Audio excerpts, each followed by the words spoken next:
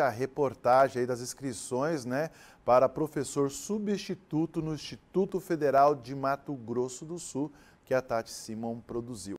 O Instituto Federal de Mato Grosso do Sul está com vagas para a contratação de professores substitutos em nove municípios, inclusive em Três Lagoas.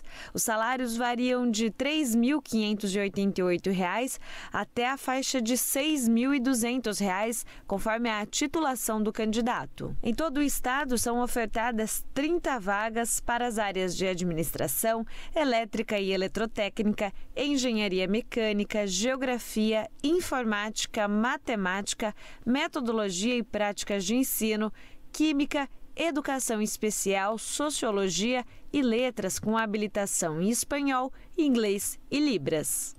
Para o campus de Três Lagoas, são somente três vagas. Os candidatos precisam ter licenciatura em letras, português e inglês ou português e espanhol. O Instituto também oferece uma vaga para quem tem formação em química. As inscrições já estão abertas e podem ser feitas até o próximo domingo, dia 29 de maio, pela internet no site da instituição.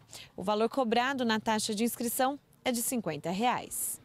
As provas serão aplicadas em 11 de junho no campus do IFMS, onde a vaga é ofertada. Os resultados do processo seletivo estão previstos para 14 e 21 do mês que vem. O edital determina ainda que o contrato terá vigência de um ano, podendo ser renovado por mais 24 meses.